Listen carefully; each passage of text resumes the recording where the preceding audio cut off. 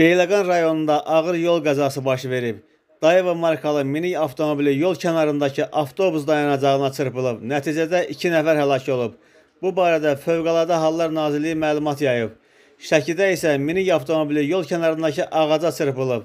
Nəticədə biri azyaşlı olmaqla 2 nəfər ölüb, 3 nəfər isə xəsarət alıb.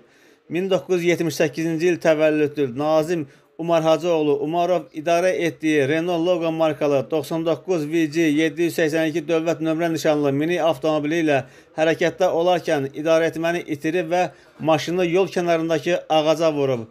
Qəza zamanı avtomobildə olan sərnişinlərdən 1993-cü il təvəllüdlü Azər Əlioğlu Murtuzov və Şəki rayonu Susuma kənd sakini 2019-cu il təvəllüdlü Sədəf Dilqam qızı Seydəliyeva aldığı ağır xəsarətlərdən hadisə yerində ölüblər. Sürücü Nazim Umarov və daha iki sərnişin qəza zamanı həyatını itirən azyaşlı Sədəfin atası 1990-cı il təvəllüdlü Dilqam Vəli oğlu Seydəliyev və Beyləqan rayon sakini 2001-ci il təvəllüdlü Əşrəf Zöhrəboğlu Hüseynzadə müxtəlif dərəcəli bədən xəsarətləri alıblar. Yaralı şəxslər Şəki rayon mərkəzi xəstəxanasına yerləşdiriliblər. Hər iki faktla bağlı araşdırma aparılır.